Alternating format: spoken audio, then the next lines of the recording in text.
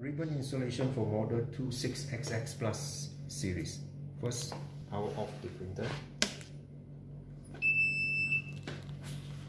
Lift the top cover. Press the two latch on the left and on the right, gray color, inwards and lift it up. Next, widen the print gap to the maximum where there is a ribbon logo stated followed by upper friction press the flexible clips on the left and the right hand inwards to lift it up. Place the printhead in the center. Take the ribbon.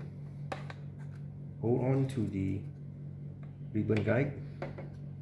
Position it in between the printhead and the plastic shield.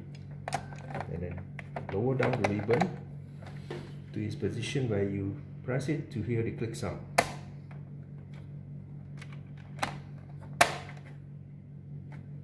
Then position the ribbon guide all the way downwards to the printhead.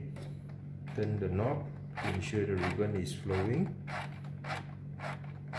And also you can push the printhead to ensure that the knob is turning at the same time.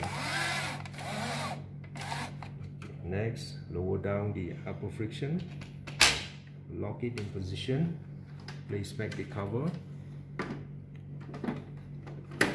and lock the latch. You may proceed with the printing.